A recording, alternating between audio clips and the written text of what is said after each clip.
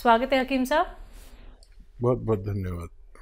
हकीम साहब कुछ लोगों को शिकायत होती है एलर्जी की कुछ को दिक्कत होती है कि हमें बहुत ज़्यादा खुजली होती है कुछ लोगों को दिक्कत होती है कि कहीं पे भी अगर हम लोग खुजा दें तो वहाँ पे या तो बड़े बड़े से डाफट जिन्हें बोलते हैं वो पड़ जाते हैं या लाल लाल रैशेज हो जाते हैं। तो इस तरीके की प्रॉब्लम किन लोगों को सबसे ज़्यादा होती है और नुस्खे क्या कुछ हो सकते हैं? हाँ देखिए स्किन रोगों में कहलाता है। हम्म, हम्म। और स्किन को जब उसके मिजाज के खिलाफ जी। कुछ मिल जाता है हम्म। तो वो एलर्जी के रूप में उभरती है। अब चाहे वो रैशेज हों चाहे वो दाने निकलें चाहे मुहासे निकलें और बहुत तरह के रोग हैं स्किन के सोराइसिस भी स्किन का ही मर्ज है। तो स्किन की खुराक है विटामिन ई e और वो भी बहुत अच्छे किस्म की जानी चाहिए।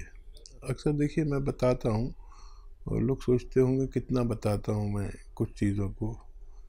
मैं अक्सर अखरोट बताता हूँ, और अक्सर मैं आपको अलसी बताता हूँ।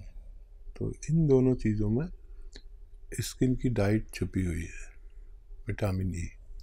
किसी को स्किन रोग हो तो ये अच्छा काम करते हैं। तो बिल्कुल दर्शकों, देखिए, यही वो बातें होती हैं जो जाननी बहुत ज़रूरी है, क्योंकि जब आप लोग ये सारी बातें जान लेते हैं तो अपने आप को एक सही उपचार की तरफ़ आप लोग ले जाते हैं। अगर आप लोग लाइव हकीम साहब से बात करना चाहते हैं, घरेलू नुस्खे जानना चाहते हैं तो फ़ोन उठाइए, नंबर्स पे कॉल कीजिए, जो आपके सामने आपकी टीवी स्क्रीन पर लगातार दिखाए जा रहे हैं। दर्शकों, एकदम लाइव कार्यक्रम है। अगर आप लोग ये समझना चाहते हैं कि अब हमें बहुत सारे ट्रीटमेंट नहीं कराने हैं, डॉक्टर्स के चक्कर हमें नहीं लगाने हैं तो अब आप एक चीज़ का लाभ उठा सकते हैं, वो है घरेलू नुस्खे, जो आपके किचन में मौजूद होते हैं। आपके किचन की जो सामग्री होती हैं और जो नुस्खे, यानी कि रॉ मटेरियल हकीम साहब आपको बताते हैं, बस वो आपको कहीं से भी असली प्राप्त करने हैं। बाकी आप अगर हकीम साहब की कंपनी से मंगवाना चाहते हैं तो वो भी आप मंगवा सकते हैं। हेल्पलाइन नंबर पर कॉल करके अतिया हब, जो कि एक ब्रांडेड कंपनी है 500 से भी ज़्यादा फ्रेंचाइजी इसकी देश भर में है, जिसके फाउंडर, प्रमोटर, रिसर्चर हैं हकीम सुलेमान खान साहब, जो लाइव आप सभी के साथ जुड़े हुए हैं। हकीम साहब, जब किसी भी व्यक्ति को पैर में कोई शिकायत होती है, या तो वो दर्द की शिकायत करता है, या फिर वो जलन की शिकायत करता है कि मेरे तलुओं में जलन रहती है हमेशा, या कुछ लोगों को हमने देखा है कि वो नंगे पैर इसलिए रहते हैं या तो उनके पैर बहुत ज़्यादा पसीज जाते हैं या बहुत ज़्यादा स्वेलिंग पड़ जाती है ये तमाम परेशानियाँ क्यों आती हैं हाँ, देखिए पैरों में अगर दर्द है हम्म। या पिंडलियों में खिंचाव है या दर्द जी, है जी। किसी की थाइज में होता है ऐसा कि दर्द या खिंचाव होता है किसी के घुटने में होता है किसी को जलन होती है किसी को सुन होता है और किसी को दर्द किसी को खिंचाव ये चार कैफियत अगर किसी में है तो वो समझ ले कि उसका दर्द या मर्ज तो आपको लगता है कि पैर में है या पिंडली में है या थाइज में है, लेकिन उसका जो सेंटर होता है, वो मेरे अनुभव के अनुसार कमर में नसों के दबने की वजह से होता है। अगर हमें कमर के नसों का या डिस्क का इलाज मिल जाए तो हम ठीक हो सकते हैं। नहीं तो हमेशा हम, क्योंकि मर्ज तो पैर में नहीं है, दर्द पैर में है, लेकिन मर्ज हमारे हमारे कमर में होता है। जो हकीम, वैद और डॉक्टर इस बात को समझते हैं, वही इसका इलाज कर सकते हैं। एमपी से हैं देवेंद्र जी, स्वागत है आपका। जी नमस्कार। जी नमस्कार। जी हकीम जी से बात करना। जी मैं हाजिर हूँ। बताइए भाई क्या सवाल है? जी हकीम साहब नमस्कार। जय हिंद। ये क्या है कि मेरे मुँह में इन्फेक्शन है या छाले हैं? बहुत दिन हो गए साल हो गए ये जा नहीं रहे। इसका मैंने बहुत इलाज भी करवा लिया मल्टी विटामिन से कैप्सूल भी खा लिए। इंजेक्शन हम्म। सब कुछ हो गया है कुछ फ़ायदा नहीं हुआ। इन्फेक्शन है ये किनारों में है ना ये ऐसा लग रहा है तो चाकू से उधेड़ दी हुए ऐसी। गुटखा तो नहीं गुटखा तो नहीं खाते हो? नहीं नहीं नहीं गुटखा मुटका नहीं खाता मैं। ठीक है ठीक है। और एक सवाल और है ये मतलब ये तो है ही और ये मेरी आँख है ना इनमें ये सफ़ेद वाला ये गड्ढे न बोलते हैं सफ़ेद आँखों में। हाँ। उनमें उनकी फूंसी के टाइप की और पीली पीली सी हो रही है। और अपन घर के अंदर रहो तो ठीक रहते हैं अपन बाहर जाते हैं तो एकदम जगह चौंधी सी लगती है। ठीक है। अच्छा देखिए एक आती है मुंडी बूटी। मुंडी बूटी बहुत सस्ती दवा है जैसे मटर के बराबर गोलियाँ समझ लो उससे बड़ी उससे छोटी। मटरे के बराबर या उससे बड़ी भी होती हैं, छोटी भी। ये चार मुंडी बूटी आप लेकर रात को पानी में रख के, रख दें और सुबह को उबाल के मुंडी बूटी तो फेंक दें और पानी पी लिया करें। सुबह निहार मुँह, एक बार रोज़ाना। और एक हफ़्ता लें। ये दुनिया की सस्ती दवा है। मुंडी बूटी याद रखें। बॉल होती हैं गोल गोल एक तो ये आपकी आँखों के लिए है। और ये जो आपके दाने हैं मुँह में और आपने काफ़ी इलाज भी कर लिया मल्टीविटामिन भी ले लिया, सब कुछ करके देख लिया। अब एक मामूली सा नुस्खा मैं बताता हूँ। ये आता है सफ़ेद गौन मोरिंगा। देखिए, ये नकली बहुत मिलता है, असली लेना आपका, आपकी ज़िम्मेदारी है। सफ़ेद गौन मोरिंगा रोज़ाना, ये रॉ मटेरियल है, गोंद है एक। सफ़ेद वाला लेना, लाल या पीला कोई दे नहीं लेना। बहुत इसमें बेईमानी चल रही है। ये सौ, दो सौ ग्राम ख़रीद लें, इसका पाउडर बना लें, ये रॉ मटेरियल है।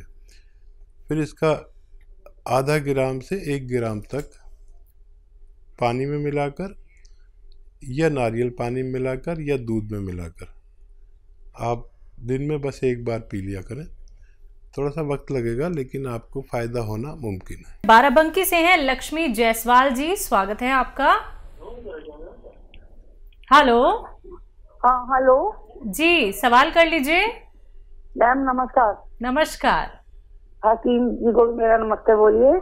जय हिंद आदाब। बताइए क्या जयसवाल जी क्या सवाल है आपका? मैं हाजिर हूँ। सर हम तो आपसे अक्सर बात कर लेते हैं क्योंकि हम्म। हम आपके बारे में किसी से बुरा नहीं सुनना चाहते।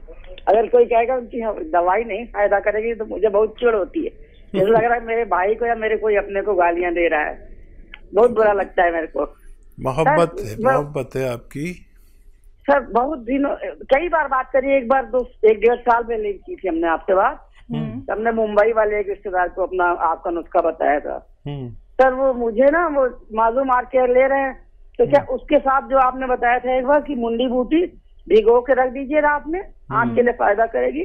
तो सुबह गर्म करके पानी में पका के आधा हो रह जाए कब पीनी है तो क्या ले सकते दोनों चीज़ साथ? जी जी ज़रूर ले सकते हैं ज़रूर ले सकते हैं। और कोई सवाल हो तो बताइए। बहुत धन्यवाद। सर आपके लिए तो बहुत हम लोग बहुत दुआ मनाते हैं कि आप हमेशा बने रहें। जैसे लगता है मेरा कोई घर का अपना हो जब आपसे बात करनी होती तो यही लगता है मेरे को। नहीं वाकई मैं बहुत बहुत लकी हूँ कि मुझे आप जैसी बहनें मिली हुई हैं जो लाखों और करोड़ों की तादाद में हैं। कभी कभी मैं अपने आप को देखता हूँ, शर्मिंदा हो जाता हूँ कि मेरे अपने भी मुझसे इतनी मोहब्बत नहीं करते। आप लोग बग़ैर किसी मुलाकात के और मेरी आवाज़ पर मुझसे मोहब्बत करने लगे, ये मेरे लिए भगवान के तोहफे से कोई कम नहीं है। और आप यकीन करें, मैं भी आप लोगों के लिए बड़ी दुआएँ करता हूँ और आपकी सेहत की दुआएँ और मशवरे उस वक्त तक देना चाहता हूँ जब तक मेरा दिमाग काम करता है। और खुश रहिए बड़ी दुआ आपके लिए आपके पूरे परिवार के लिए कि आप हमेशा खुश खुर्रम रहें शादाब रहें आदा आबाद रहें और मुझसे जो भी सेवा हो सके मेरी ज़िंदगी में आप मुझसे ले लीजिए। जी। लता है पंजाब से स्वागत है आपका। नमस्कार मैडम जी। जी नमस्कार। नमस्कार आदाब। मैडम जी मेरे तीन सवाल है जी बोलिए ਇੱਕ ਦਾ 10 ਸਾਲ ਦੀ ਲੜਕੀ ਹੈ ਜੀ ਬੱਚਾ 10 ਸਾਲ ਕੀ ਸੁਸੂ ਹਾਂਜੀ 10 ਸਾਲ ਦਾ ਬੱਚਾ ਹਾਂ ਉਹ ਬਿਸਤਰ ਤੇ ਸੁਸੂ ਕਰ ਗਿਆ ਜੀ ਰਾਤ ਨੂੰ ਹਾਂ ये दूसरा सवाल है जी इतना बचपन तो बच्चा है जी ढाई साल का है वो हम्म। तीर कर है अख अख से तीर कर है जी ਉਹਦੇ ਵਾਸਤੇ ਕੋਈ ਦਵਾਈ ਨਹੀਂ क्या करता है एक साल का बच्चा तीर करदा जी तीर टेढ़ी जी अख तीर नहीं करदा तीर टेढ़ा जा झाकना। नहीं आँखों में हाँ आँखों में प्रॉब्लम है वो तीर निकालता है। अच्छा आँखों में दिक्कत है। तीर निकालता है तीर।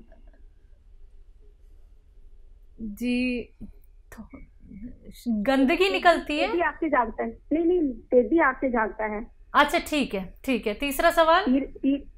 हाँ जी तीसरा सवाल है। एक ना भाई है उसकी उम्र है जी फिफ्टी फाइव एज हाँ ਉਹਨਾਂ ਉਹਨਾਂ ਉਹਨਾਂ ਦਾ ਸਰੀਰ ਕੰਬਦਾ ਹੈ ਕੰਬਦਾ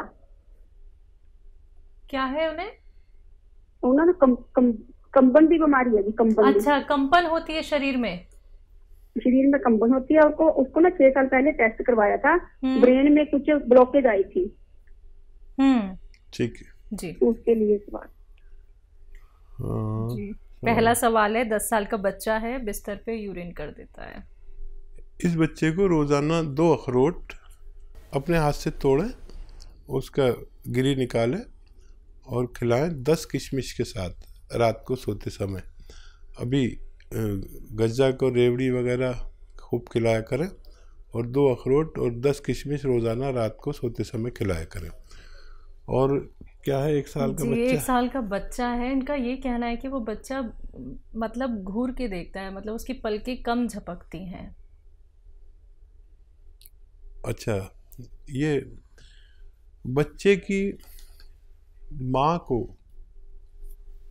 या तो देखिए, दूध पीता हो अगर माँ का तो माँ को, और अगर उसका दूध पीता है दूध दूध जो बाहर का दूध पीता है तो बाहर का दूध पीता है तो एक छोटा चम्मच चाय का भरकर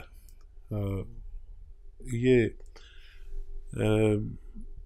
बादाम का तेल उसके दूध में मिला दिया करें। एक छोटा चाय का चम्मच बड़ा वाला नहीं। और अगर वो माँ का दूध पीता है तो माँ को दो चम्मच बादाम का तेल रोज़ाना पिलाया करें। दूध में मिला के पिला दें तो माँ के ज़रिए बच्चे को फ़ायदा होना मुमकिन है। और कंपन होता है। जी जी पचपन साल के हैं। हाँ ब्लॉकेज है दिमाग में आपने बताया। और जैतून का सिरका रोज़ाना तीन चम्मच पानी में मिला के रात को सोते समय भाई को पिलाया करें।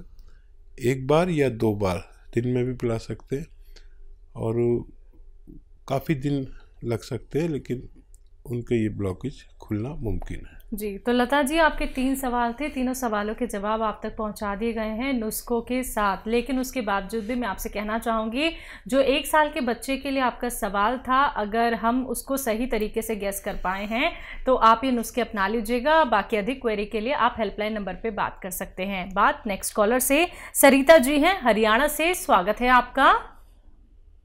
हेलो मैम नमस्ते। नमस्कार। हकीम साहब को मैं नमस्ते। जय हिंद आदाब। सर मुझे ये मुझे आपके साथ में ना मम्मी के लिए बताया था कि दो हो जाए तो क्या कहते हैं अलसी और क्या कहते हैं कलौंजी का नमक। आधा हम्म। किलो अलसी और कलौंजी का नमक सौ ग्राम लेना है दो होने पे। जी। और क्या कहते हैं अभी भी होते हैं और क्या कहते हैं मम्मी को पंद्रह साल से बीमारी है। ये शुरू किया क्या आपने?